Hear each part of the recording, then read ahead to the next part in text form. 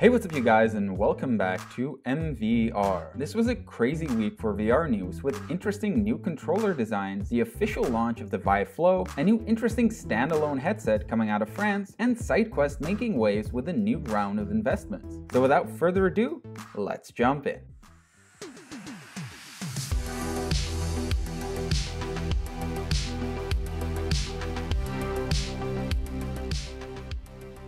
Despite providing a framework for VR hardware through the Windows Mixed Reality platform and making tremendous progress on AR technology, Microsoft has shown very little interest in advancing VR tech for quite some time now. But during a recent symposium, Microsoft showed off the impressive X-Rings controller prototype. The hardware showcased in the demo is still quite rough around the edges, but illustrates a unique and clever way to integrate traditional VR controls with both finger tracking and force feedback. A Knuckles type hand strap ensures that you can completely open the palm of your hand without letting go of the controller, while a modular stack of motor powered rings enable the controller to change shape by independently adjusting the diameter of each ring from anywhere between 5.7 and 7.7 centimeters. Each of the pads that populate the rings also contain capacitive touch sensors, which not only determine finger positioning, but also grip force, which in turn lets users interact with virtual objects in the same way as the knuckle controllers, but then with the added feedback of actually feeling the object in the hand being worked. The controller being demonstrated in the video is still very much an early concept, so I wouldn't expect it to be released anytime soon, but it does show that there are still quite some ways in which we can improve the current VR controller design in years to come.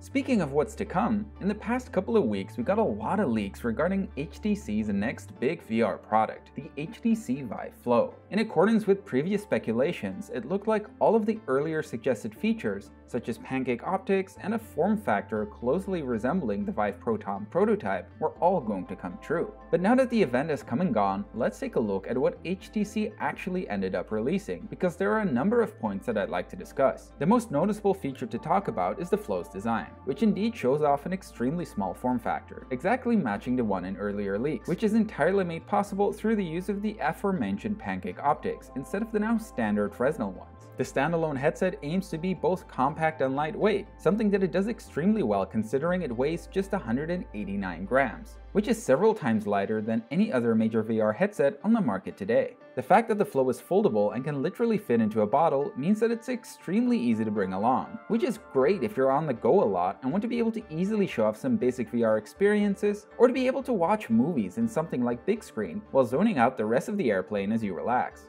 While the Flow does come equipped with onboard 6DoF cameras, at the time of release it does not support hand tracking or come with a controller. Instead, the headset will pair with your phone through Bluetooth and will use that device to control experiences instead. And while I do think that this concept has potential for a media viewer type of device, it is worth noting that at the time of recording, if you own either an iPhone or an Android phone running an Exynos CPU, you will not be able to pair these to the Flow. Which honestly makes me a little confused on what HTC's target audience is. A likely culprit behind this is the lack of Miracast support on iOS though. But with HTC coming out and saying that they plan on working to add support for other chips chipsets, as well as hand tracking in the future, I can't help but feeling like this was an extremely rushed launch for something which has the potential to be an extraordinarily outstanding product. And with the last couple of Vive consumer launches not being received all too well, I'm just left feeling like HTC shot themselves in the foot here. They have this extremely outstanding design, supporting incredible lightweight and portable properties, and then they release it before they finish all of the software features? Like, what am I missing here? If you can think of a good reason why HTC couldn't delay this launch until it could properly support the device, I would really love to hear your reasoning in the comments down below. If you do happen to belong to the happy half of society that owns a compatible smartphone, then you can pre-order the device now at Vive.com for just $4.99 and you will also receive a free carrying case while the pre-order period lasts. Speaking of pre-orders, what's probably been one of the more anticipated possible competitors to the Quest 2 is a yet unreleased piece of hardware coming straight out of France. The French startup behind the headset, Lynx, finally launched their long-awaited Kickstarter campaign earlier this month. Managing to secure their funding goal for a mass production version in less than 24 hours, their Kickstarter campaign is well on its way to double that goal just a few days later. The standalone headset up for funding here is a redesigned version of their earlier business concept, but is still capable of both VR and full color AR pass-through. Coming in with a starting price of 499, there's a lot to unpack here. What's probably going to stand out is the extremely slim form factor of the device, which much like the Vive Flow is achieved by moving away from the traditional Fresnel lens design. Where the Flow made the pivot to the much superior pancake optics, the Lynx chose yet another bespoke design of their own called a four-fold catadioptric freeform prism. In terms of other hardware, the Lynx R1 runs on a Snapdragon XR2, the same chip found in the Quest, has 6GB of RAM, and comes with 128GB of internal storage, which can be expanded using the included SD card slot. The display is a nice 1600 by 1600 at 90Hz per eye, but unfortunately is still just LCD. And what is probably good news for many users who have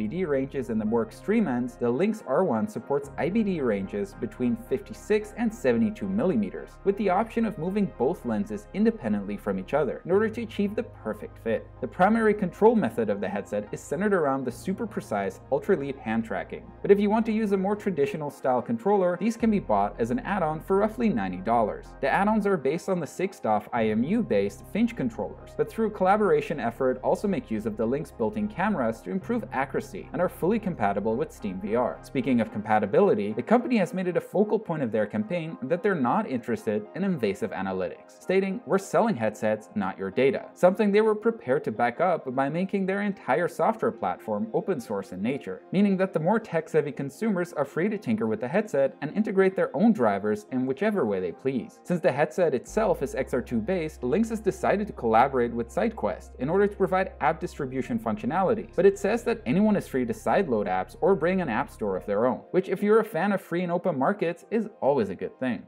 What's also a good thing is that SideQuest has recently managed to gain a fresh $3 million in a seed round, which the creators say will be used to help developers publish their apps across multiple platforms through OpenXR integration. Founded by the Belfast-based team in 2019, SideQuest has over the years become the leading sideloading platform for Oculus Quest standalone headsets, and also de facto unofficial app store, which unlike its more tightly moderated cousin over at Facebook, highly encourages experimental experiences that will likely never make their way into the official distribution channels. If you already own an Oculus Quest device and have never heard about SideQuest or tried any of their experiences, I highly suggest you check out this video, which highlights just some of the amazing apps that you can find on there. That being said, what do you think of the upcoming Lynx headset? Given the choice, would you pick it over the purchase of a Quest 2? If not, what would it take for you to consider it a viable alternative? I'd really love to discuss your thoughts in the comments down below. Well, that's all of the VR updates for this week. Thanks for watching, stay healthy, and I will see you guys next time.